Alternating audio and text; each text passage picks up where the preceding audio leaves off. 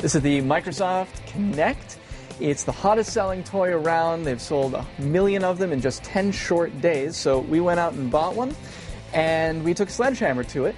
UBM Tech Insights gave us a look inside. They told us how much all the different parts are worth. So this is where most of the expensive parts of uh, the Kinect are located.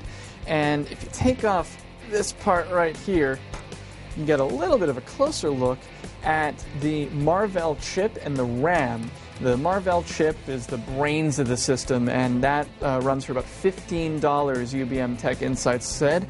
And uh, the RAM chip is for about six bucks. That's the accelerometer right there. Now, uh, in a smartphone, it knows if you're moving the smartphone around. In the Kinect, what it's used for is so it, it can tilt forward and backward. It knows how much uh, to tilt so it can get you in, in, in, full view. And that's it. That's, that's all it is right there. It goes for about a dollar. You have the USB interface device, and that's about $2. Okay, so here's the USB controller, and uh, that's about a dollar.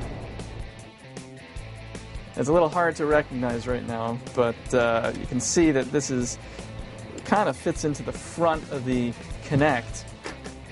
There's an IR camera, which is for infrared. There's one for depth, one for imaging, and they all work together to make the Kinect work. And it runs for about $16. There's lots of other parts, including the plastic enclosure.